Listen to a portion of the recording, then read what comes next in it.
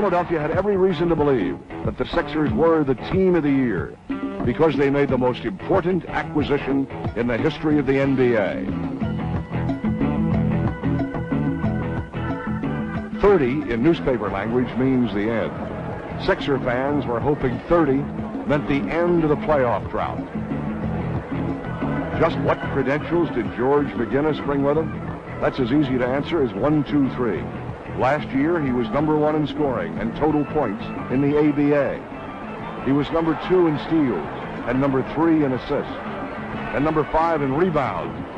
All George did during his first NBA season was average 23 points a game, stand fourth in the league with 1,769 points. He was fifth in the league in rebound average. But more important than the stats is what McGinnis brought to the floor in the attitude, style of play, the excitement. Many fans took time just to watch George.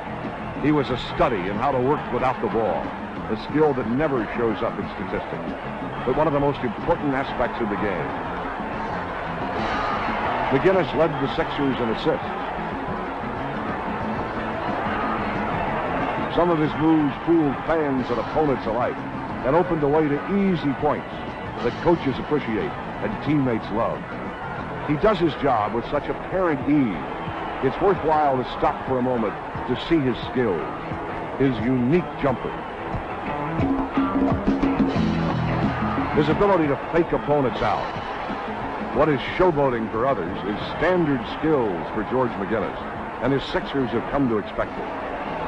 Of course, with his great moves, George not only fakes out opponents, but occasionally a teammate.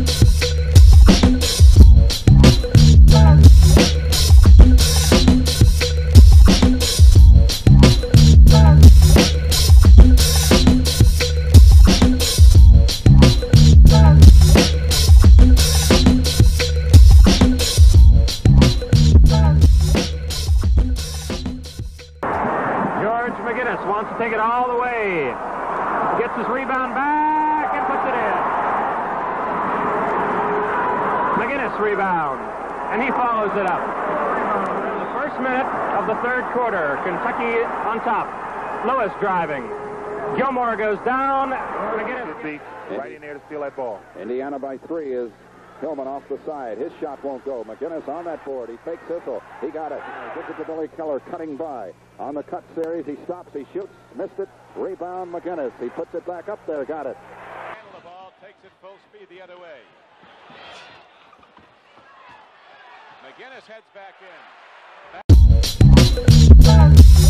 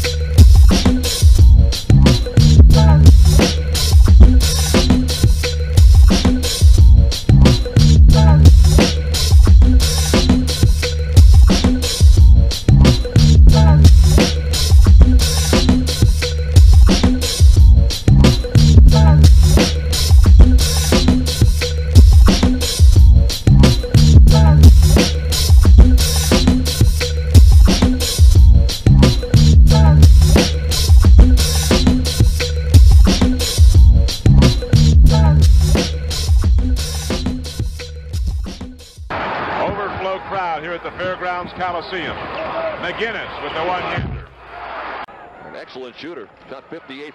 McGinnis has got the three in the sky and got nothing but net. It's McGinnis double pumping and firing on Issel and scoring. Oh, McGinnis has got it. Yeah, maybe that'll uh, encourage Mr. Elmore just a little bit. KJ, 18 feet away, is at least three here in the second half early. McGinnis has got the three in the sky again, and it's good again.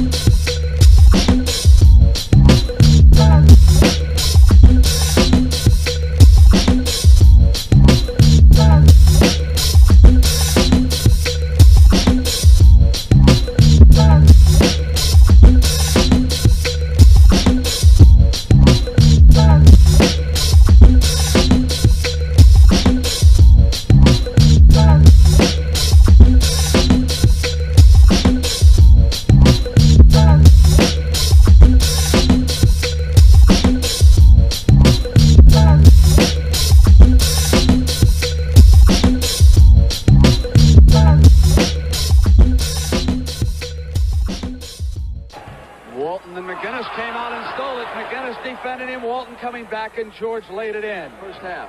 Looking basket.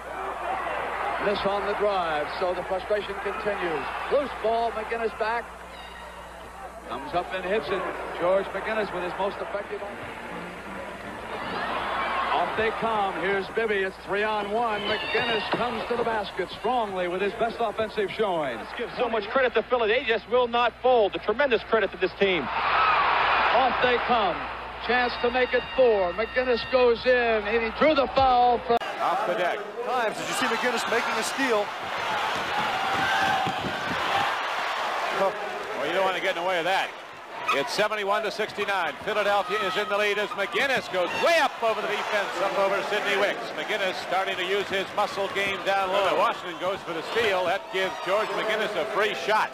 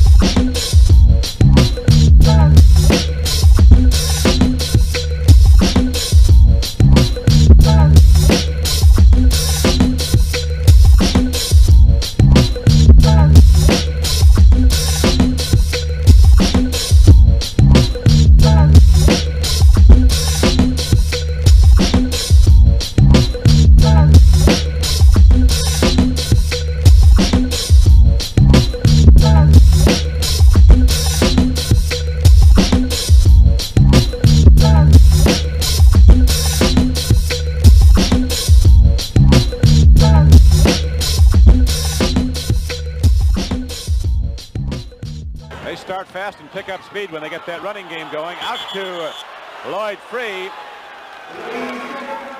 76ers starting to put on a show. Little schoolyard basketball by the Sixers. McGinnis wanted the ball quite a bit earlier than he got it. He felt like he could have got inside and got the two. It's the five in the game now for Denver. Two minutes to go, first period. McGinnis going up with one. And it's saved by Bobby Wilkerson. McGinnis, George McGinnis, he loves that shot.